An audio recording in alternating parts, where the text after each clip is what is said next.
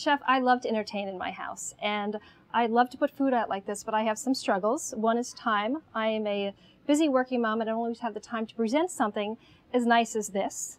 Um, and also, I like to feed my guests on the healthy side because I'm, I'm health conscious. So tell me what you have here. This looks great. Well, here we have a crudité made with uh, the brown rice crisps. Um, these are Parmesan uh, crisps. And here we have, um, you simply serve it with some hummus and some vegetables of your choice, whatever is seasonal or, or fresh um, in your area, wherever you might be. Doesn't get healthier than that. Doesn't really, does it? Even the kids love hummus. Great. Uh, My- I know my kids do, actually. Mine do too. And then for an appetizer, we have something we would serve uh, serve warm or hot, and those are some uh, rice balls made with arborio rice, and that uh, in Italian is called um, arancini. And here we're, here we're using the um, Parmesan and sun-dried tomato crisps.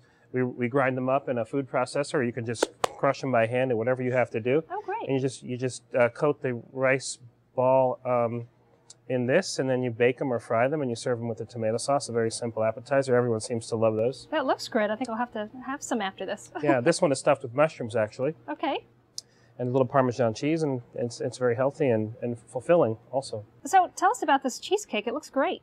Uh, here we have a pumpkin bourbon cheesecake, and we used um, the cinnamon um, uh, rice uh, crisps uh, instead of graham crackers. We grind them up, and we uh, use a pumpkin uh, bourbon filling, and then we uh, like to serve this one in particular with a uh, pecan maple sauce. So I know you have some forks back here. We're going to have to dig into this when this is over. And where do we find the recipes for this? Uh, you simply go to riceworks.com. Okay, They're great. all Well, there. thanks so much for being here. You're welcome.